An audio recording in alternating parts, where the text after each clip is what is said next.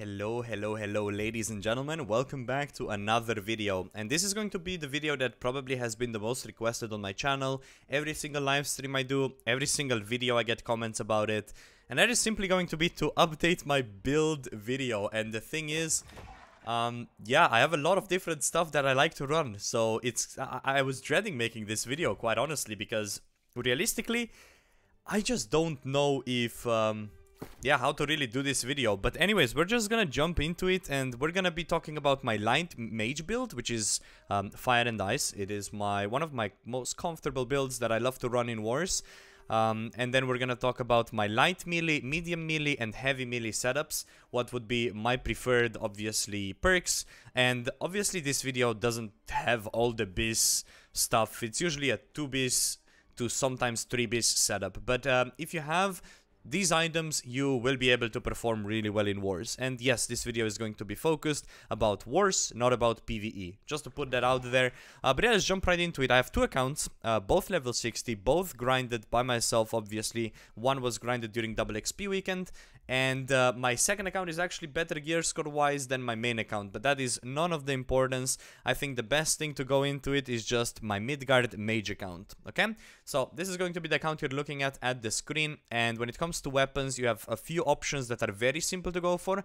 One of the best options right now is Blackguard's Fire Staff, in my opinion. Uh, but another really good option would be a Firevine Battle Staff. Okay, you can go for either of the two.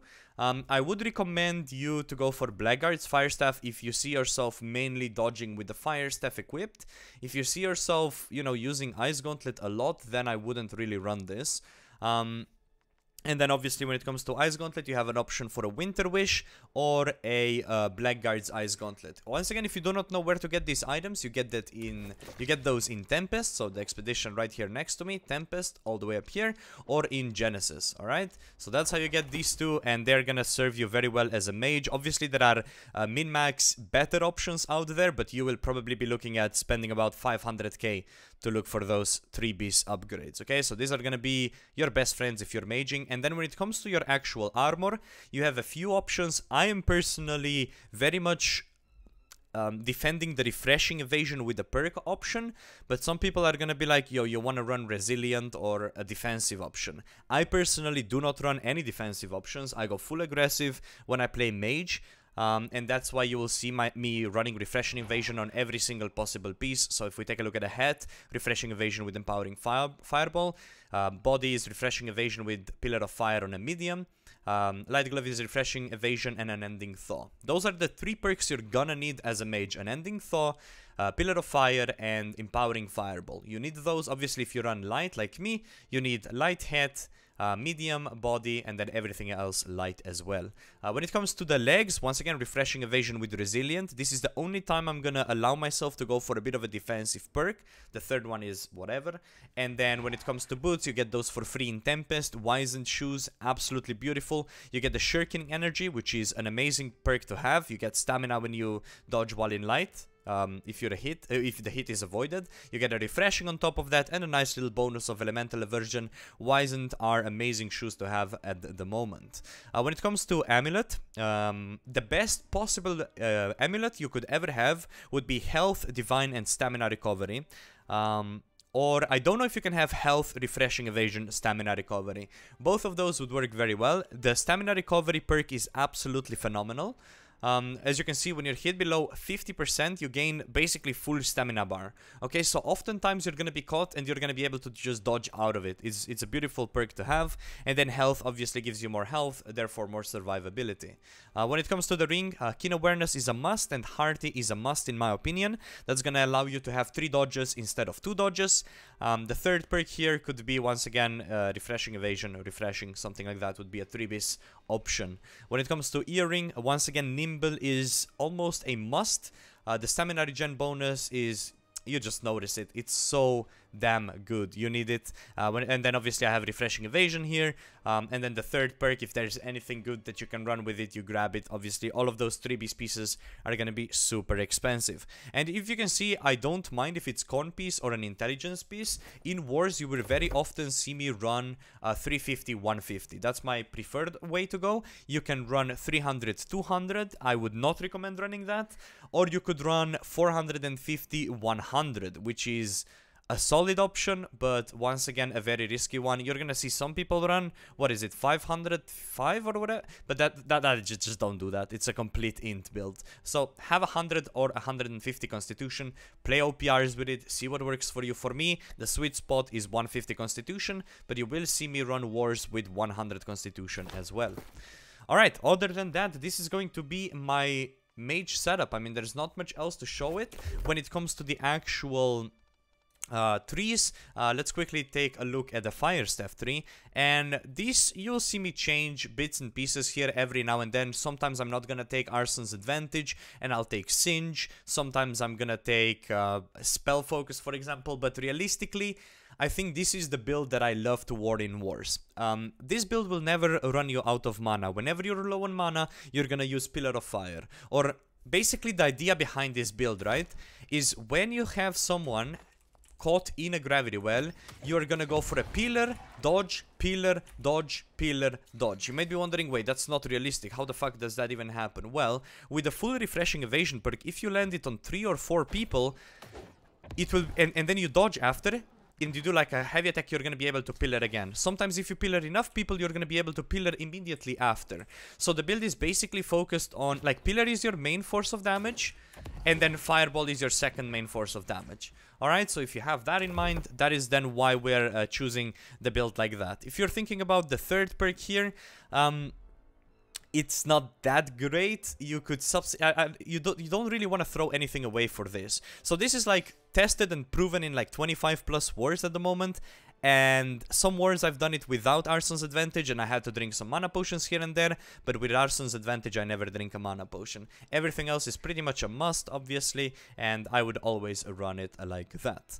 When it comes to the Ice Gauntlet though, um, this is a standard, I would never change anything. Obviously you do want to have your Ice Storm, and you need to have every single passive on the Ice Storm tree in order to get the ultimate chill, and then obviously you want to make sure you have the Frigid Showers when it comes to the Ice Shower, definitely all the way down here, and when it comes to Entomb, um, obviously having an extra defense um, after it breaks is very, very beneficial. So I would not substitute pretty much anything about that. However, there is a PvP Ice Gauntlet build that I like to run sometimes, which consists of the Ice Pylon, but for the sake of your mental, I'm not gonna show this on the video because it is a full meme build, okay? I don't want people to run it in wars, it's not worth it. This is ideal, um, and, and honestly, this is gonna get you far if you do wanna play Fire Ice.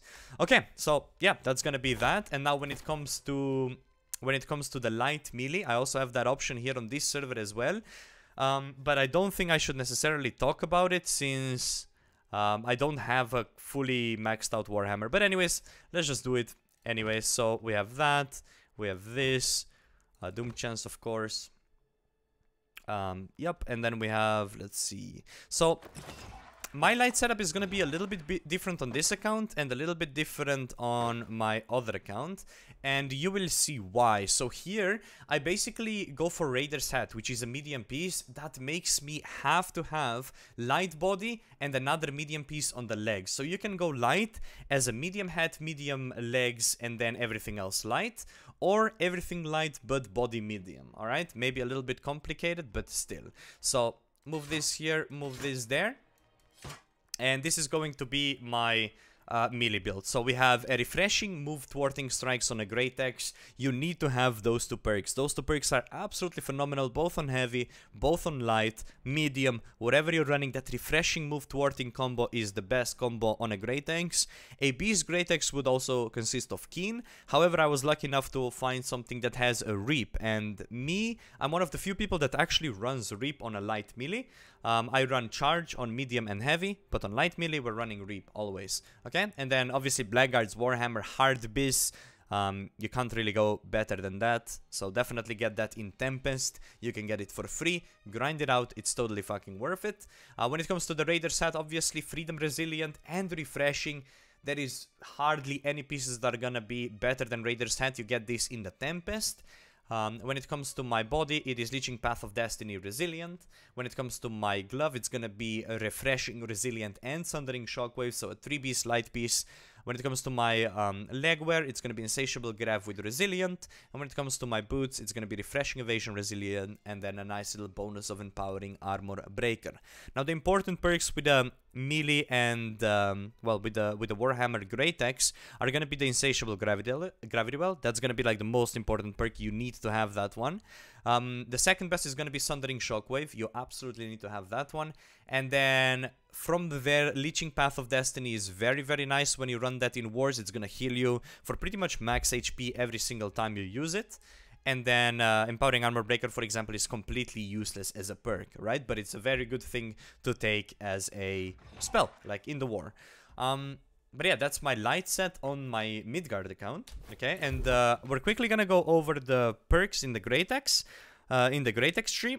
So this is going to be what I would run on a light melee great okay? Light melee great this is literally like the best that it gets. So full on Maelstrom, full on Reap, we go Bloodlust for the chase potential, we go the second perk in the, perk in the well to increase our damage for everyone that's caught inside, and all the other perks just make sense. Obviously you can hover over them, you can read them for yourself. This is once again tested in 50 plus wars, and uh, yeah, this is like my favorite build to run at the moment. However, there are obviously also builds where the charge will be needed and that is going to be for the medium and heavy build okay? So this is for the light okay? You can you can save pause the recording save it make a screenshot of it right? Um but this would be like if you were a heavy or medium user i would run this. So dada bim bada boom bada bam and then i would also run like this and i would run like this and like that so you see how this is now a little bit different. This is for all you heavy medium users out there. Um, this is, once again, very tested. This is when you hold Great Axe, you get more damage. This is when you hold Great Axe, you get uh, damage absorption. Very good on a medium, very good on a heavy. Obviously, you need a charge, and then you go for all of these little perks. You're only missing Executioner speed, really. Um, and this is going to be a very good way to go about your Great Axe. Um, so let me just get my usual back. Bada beam and bada boom. So once again, since I am playing light on this server, this is pretty much the standard I go for. So like that, and then like this, and then this, this, and that. Uh, I did one too many somewhere. Here, there we go. And I like to run Maelstrom here, this, here, this, here. Okay, so this is going to be the Great Axe. Perfect. But now we gotta talk about the Warhammer, alright? And then the Warhammer, obviously, it's gonna be a little bit different for me because I'm only 17 out of 20 on this. Uh, but still, let's quickly take a look for my... Um, so this will be for heavy or medium, alright? Heavy or medium, you wanna be running Armor Breaker, guys. Do not sleep on Armor Breaker one of the best spells in uh, in the as a heavy or medium. Even as a light, sometimes I really like to run Armor Breaker, but as a light, this Wrecking Ball is the thingy that is really nice to run for me, as I get like the nice little pick potential. But as a medium and heavy, you land those Gravity Wells, you Armor Break, and then you go for your combos, okay? And this would be a very standard build path right here. Um, okay, so you take this, this, this, and that. Okay, obviously I can't take them right now because I don't have enough points, but you are taking um, basically this, this, this, alright, including all of those. So this, this, and that. And this would be ideal for mediums and heavies that are using Warhammer. Okay, so I'm talking about this now. I'm not gonna talk about this later. I will, however, leave all the little screenshots in the description of this video, so you can kind of save them if you would uh, so want. Um, but yeah, this is going to be when it comes to builds. Now you have the Great Axe, the Warhammer, the Ice Gauntlet, and the Fire Staff builds that I personally always run. Uh, but now if you made it this far into the video, um, I can also show you the... Um, uh, I mean the, the the Warhammer when there is no Leeching Path of Destiny needed. So when would you use that? This would be like a dual build. Um, so a little bit of a bonus, right? I said I wasn't gonna do it, but for a little bit of a bonus, this is what I would run and this, this, and that as well. Those three here. So I wouldn't go for either Justice for All or Aftershock. This is the dual build. Alright, so I would go this, this, and that as well. These three here. And uh, yeah, that will be your perfect dual build. I can use this when I duel as a medium, as a light, even as a heavy, alright? So this paired with uh, Great Axe, and you are pretty damn strong. Uh, we're gonna save this here. I usually like to run it like that. Alright, um, now I've pretty much told you everything about the Midgard account and about all the little trees that I like to run. Obviously, when I run um, either light, medium, or heavy, I always go 300 strength, 200 constitution. Alright, that's the standard. Uh, but now, I'm also gonna jump to my Drytree account, alright? And I'll show you what kind of gear sets I have there. This is always a question on every single live stream. I know the video is maybe a little bit long at this point, but for the people that are curious, I might as well show it. So, on my Drytree account, I will have, once again, the mage build, because it's my like the build that I really like to run. Uh, but I'm also going to have a light melee, medium melee, and heavy melee. However, the medium and heavy melee are not really... even light isn't perfect. Okay, this account is literally older than my Midgard account. I would argue this account is worse than my Midgard account at, at the moment. You might be wondering why. I played this account before the Tempest release, so I do not have the Tempest drops just yet. Okay, so once again, when it comes to Mage, you're gonna see me run with um, the standard, you know, Fire Staff, um, I mean, Firevine Battle Staffs, Winter Wish, full refreshing evasion with perks, Wizened Shoes. You see the it's the same it's the same idea. Here I have stem recovery health, again, super important. Hearty keen awareness, again, super important. I do not have nimble on this and I feel it, I regret it, but I have refreshing regenerating and the mana toast, so I'm not really looking to swap this over. However, I definitely feel not having nimble. Alright, but let's take a look at the melee setup on this account because it is going to be a little bit all over the place. So first of all, let's go ahead and take our light set in consideration. So light set, light, light. You're gonna see me have 6 to 3 gear for the most part because I did all of that in OPR more or less. Uh, Oh yeah, that's my mage and that's my melee. Alright, perfect. Uh, and then obviously I'm running this, I'm running that. So this account still does not have uh, refreshing move thwarting strikes great axe, but I have plague strikes, thwarting strikes, and mortal fortification on this one. So it is really good as a light, because you can roll around heavy attack, just one hit someone, they can't get healed. Um, but I still think I will I will definitely upgrade to the refreshing move one. And then for Warhammer, I have this, which isn't good. Definitely grind out Tempest. I will definitely be grinding out Tempest because I do plan on playing Wars on Drytree as well. Um, and obviously that Warhammer would be a lot better in this option. However, when it comes to my gear, the Wardens, guys, is a free option as a light melee. You get refreshing, resilient with it. Luck is whatever, obviously, but this is like a nice free option if you do not want to spend your money just yet. When it comes to the body, I have, once again, refreshing, resilient. Um, this time I have repulsing clear out, I don't run it, I just have it for refreshing resilient. Back in the day I prioritized refreshing more than refreshing evasion. Nowadays I would prioritize refreshing evasion resilient more than the actual full on refreshing. Because you will be dodging all the time, alright? Here we have once again refreshing sundering shockwave with a nice little bonus of vigor. And then here we have Resilient Insatiable Gravity Well, and here we have Leeching Path of Destiny, Elemental Aversion, and Invigorated. Not the best boots, but like Invigorated and Elemental Aversion kinda made me be like, yeah, whatever, even if I don't have Resilient here, it is what it is, right, it's fine. Um, definitely by no means a perfect light build, uh, not at all. If I were to upgrade this, um, I would go for Refreshing Evasion, um, with Resi on pretty much as many pieces as possible. But this allows me to have three resilient pieces, one Vigor, one Invigorated. Vigor is one of the worst perks in the game, but fuck it. And Invigorated is also not that useful because you can just cleanse all of the debuffs in war. You'll see me spam cleanse all the time. When it comes to jewelry, okay, we have Smooth Bone Ring. Uh, you get that in Lazarus. Definitely grind it out if you're a melee player nothing is better than uh, Smooth Bone Ring. And Doom Chance, definitely grind down Genesis for this one. Once again, extremely good ring, okay? Definitely run it. And then when it comes to my amulet, we're running a Refreshing Evasion, Health, and Void Protection. Nice little amulet, if I could say so myself. Um, yeah, I mean, the, this amulet I can also run on my mage setup if I feel like it. If I don't want to go for the stem recovery one, I think both are really good. Um, but I usually just mix and match them, whichever one I think is better at the time. Um, and then yeah, that's pretty much my light setup. Now we're gonna be moving on to the medium. Okay, so once again for the light, we're going with the light headpiece, medium body, light, light, light. Okay, you can also do medium head, light body, one of these two has to be medium as well, and then light, light. Alright? But the easiest thing to go for it is just have medium body, and that's it.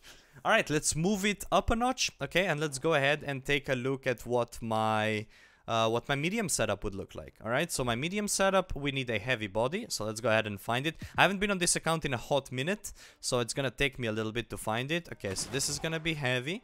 Uh, this is gonna be heavy for sure. Now we need gloves. Uh, so I think my medium setup is probably my best setup at the moment. Um, and I don't think I can really upgrade it too much. So this would be my medium setup. This is what this would be what I would probably run if I wanted to like really try hard in wars. And it goes like this: so heavy headpiece with a with a freedom and resilient. Uh, very nice to have some freedom pieces in wars, but not needed at all. Just the resilient is really worth it. We have the insatiable gravity uh, here on the legs. Still, this is same as my light set. Um, we have the crippling reap, which I don't need, but I have resilient and shirking fortification on this. Okay, so these are gonna be amazing. Um, whenever you can have shirking fortification with a resilient perk, take it. It's so useful in wars. You get it procced all the time. It's super good. We have the Sundering Shockwave on the... Oh, I see what we're missing here. We're actually missing... Uh... Wait, what am I missing here? Sundering Shockwave, Insatiable Grav. Am I missing Leeching POD? I am missing Leeching POD, so... Um, on this build, I probably would just run Armor Breaker or I just wouldn't have Leeching POD. It is what it is, right? Because the thing is, these Raider boots are so good with Freedom, Refreshing Elemental. I mean, they're not so good, right? But they are okay for a free option. So if I were to buy medium boots, I would probably buy a Leeching POD resilient medium boots and I would be equally satisfied. However, having two freedom pieces feels just very nice and obviously everything else is resilient. So we have what, four resilient pieces, two freedom pieces, one elemental aversion and I think we have what, one refreshing and then everything else stays the same. We have refreshing evasion on this and yeah, this would be my medium setup, probably what I would run with in wars at the moment. And then when it comes to heavy, obviously we need to look into heavy right now. I think heavy is like by far my worst because I never run heavy. I personally find it extremely boring. So honestly, it's probably best if I wouldn't even show it. But anyways, since we are making this video, let's go ahead and show it. So it wouldn't be that. It could be this when I'm running penetrating wrecking ball. Can I type heavy? I I really wish the game allowed... Oh, I can. No, I can't. What the fuck? I really wish the game allowed us to have presets, so I could just click like a box and it would equip my entire like light melee setup. That's what I wish this game had. But anyways, let's just go through the whole list and find uh, whatever we are missing here. What do we got here? This is light glove, light, it's a ring. This is light. Um, this is void when this ain't gonna be it. Okay, so this is one of the options, but I don't think I run that. I run this. So we have leeching Okay, let's just equip it. So we have Leeching POD. What am I missing? We're missing legs. We are missing legs. So where are my heavy legs? I could also have them somewhere in the storage, but for the sake of it, you know what, I'm just gonna put the fucking Voidbent pants on. like, I just can't find them. There we go, fixed. Alright, so let's just say uh, I probably have a piece somewhere in the storage that I forgot to grab out because I haven't ran heavy in so long and I just quickly grabbed it for this video. But anyways, heavy headwear, okay? Freedom Resilient, um, then we have Sundering Shockwave Resilient, then we have Leeching Path of Destiny Resilient. Wait, I'm missing Insatiable Grav though. Uh, Leeching POD Resilient, uh, penetrating wrecking ball resilient. I, I have to have a heavy legs with leeching uh, with the insatiable gravity well and resilient. So instead of this Voidbent, think of it like literally what I just said, okay? Uh, Insatiable Grav and Resi. Uh, and then everything else stays the same, alright? So that would be like what I would run. Very basic, very simple, alright? And uh, I think I showed everything in this video. It might be just a little bit all over the place, but look, this video is out here. If you want to go over all my different builds, go for it. Um, it's now there and available for everyone to see. I really dreaded to make this video because I don't know how to record everything. I always mix and match and change my gear and buy new stuff and then everything else collapses and I gotta buy new more new stuff and so on. But uh, more or less I do get to explain kind of what I'm running. However, now for the very end, if you made it this far, if you have an option, get Resilient with Freedom or Resilient with Shirking Fortification and the perk, okay? If you get that, that would be a 3 bis. If you get uh, just Resilient and perk, that would be 2 bis. Uh, you can also sometimes run just Freedom and the perk, but I wouldn't recommend that on a heavy. I would recommend Refreshing Evasion, Freedom and perk on a light sets. Um, so for example, if I ever wanted to improve my magic set, I wouldn't go for Refreshing Evasion, Resilient and Perk. I would go for Refreshing Evasion, Freedom and Perk. Um, or Shirking for... I don't even know if I'd go for shirking fortification, but freedom is very slept on on on on builds that are constantly dodging, constantly being mobile. The only time you really die is when you get stunned, stun locked, and what can save you out of that? Well, freedom. I guess resilient maybe as well. But uh, anyways, those are gonna be all my builds. Okay, everything's there. Um, if you made it this far, let me know in the comments. If you want to flame my build, go for it. I'm all free to receive some flame. But uh, yeah, that's what we got so far in all the months of playing New World. And yeah, hopefully you guys did enjoy this little video. It definitely got a bit longer than I expected. But you know what? That's totally fine. And uh, yeah, let me know in the comments if you made it this far. I'll see you again very soon with another war video. And until then, have a beautiful rest of your day. Have a good one and bye bye.